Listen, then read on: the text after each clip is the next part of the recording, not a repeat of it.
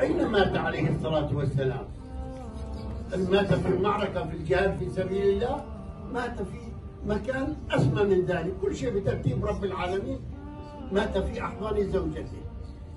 كان عليه الصلاة والسلام يفتح باب السيارة لزوجته. ويفتح باب السيارة وهو لا عنده سيارة ولا قاري. كان يضع يده رجله لتركب عليها لتركب الرجال أي مقام؟ نعود إلى ماي والد ماي أبو عمر. حديث الرسول عليه الصلاة والسلام إنما هو جنتك ونارك. إنما هو جنتك. كنا في العمرة قبل أيام وكان معانا الباص خمسين واحد. كل واحد زوجته بجنبه. فبقول لهم آه لا اله الا الله. امسك امسك يا أخي، امسك. لا اله الا الله.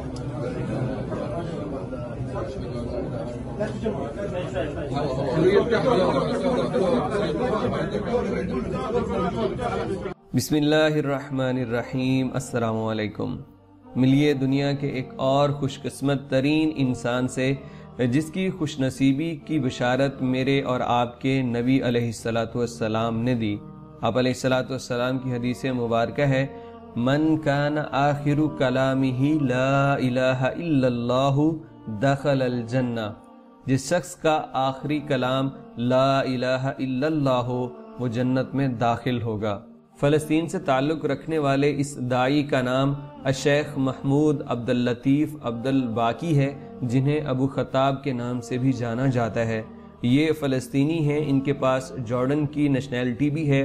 لیکن کئی دہائیوں سے یہ کویت میں مقیم ہیں اور وہیں پہ یہ دعوت و تبلیغ کا کام کرتے ہیں اور آج بھی اس مجلس کے اندر یہ میاں بیوی کے حقوق پہ بات کر رہے تھے اور چونکہ مجلس مردوں کی تھی تو زیادہ تر اپنی بیویوں سے اچھے سلوک کے متعلق بتا رہے تھے اور قربان جائیں اس قسمت پہ کہ یہ آپ علیہ السلاۃ والسلام کی آخری اوقات کے متعلق بات کرتے رہے اور یہ بتاتے رہے کہ حضور علیہ السلاۃ والسلام نے اپنی وفات اپنی بیوی کے پہلو میں پائی۔ حالانکہ آپ نے جنگیں بھی لڑیں، لیکن آپ کی وفات کسی جنگ میں نہیں ہوئی، بلکہ بیوی کے پاس ہوئی۔ اور یہ ترتیب اللہ کی طرف سے ہے۔ سمجھانا یہ چاہتے تھے کہ حضور اپنی بیویوں سے کتنی محبت کرتے تھے، ان کو کتنا احترام دیتے تھے اور فرمایا کہ نبی علیہ السلاۃ والسلام سواری پہ سوار ہونے میں اپنی بیوی کی مدد کیا کرتے تھے، ان کے اوپر چڑھنے کے لیے اپنا جسم مبارک نیچے کرتے کہ آپ اوپر چڑھیے۔ تو یہ بتا رہے تھے کہ کس قدر حسن سلوک اور حسن اخلاق تھا۔ آپ علیہ السلاۃ والسلام کا اپنی بیویوں کے ساتھ۔ تو ہمیں بحثیت امتی، آپ علیہ السلاۃ والسلام کو فالو کرنا چاہیے اور اپنے گھر میں اپنی بیویوں سے ایسا ہی سلوک کرنا چاہیے۔ اور پھر آپ نے دیکھا کہ وہ حدیث مبارکہ بیان ہی کر رہے تھے، تبھی انہوں نے اونچی آواز میں کہا، لا الہ الا اللہ، اور اس کے بعد وہ نہیں بولے، اللہ کے پاس چلے گئے۔ ایک کیسا خوش قسمت ترین انسان جس نے لا الہ الا اللہ بھی پڑھا اور اس سے پہلے وہ بات بھی آقا علیہ السلاۃ والسلام کی کر رہے تھے۔ اور ایک اور عجیب بات آپ کو بتا دوں کہ ان کا جو آئی ڈی کارڈ ہے، کویت کا جو کویت کا ان کا ریزیڈنٹ کارڈ ہے، اس کے اوپر ان کی تاریخ بھی وہی درج تھی جس دن ان کی وفات ہوئی ہے۔ یقیناً یہ اللہ رب العزت کے ایک خاص بندے تھے اور اللہ اپنے خاص بندوں کے ساتھ خاص معاملے ہی کیا کرتا ہے۔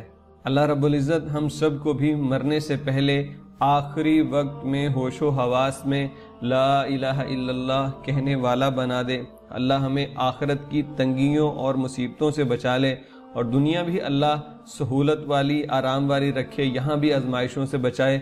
اور آخرت کی آزمائشیں، وہ تو سن کے ہی خوف آتا ہے۔ صحابہ کرام رویا کرتے تھے، ان کو آزمائشوں کا ذکر سن کے اللہ ہمیں ان آفات سے، ان بلاؤں سے محفوظ رکھے۔ آپ سب کے قیمتی وقت کا بہت شکریہ۔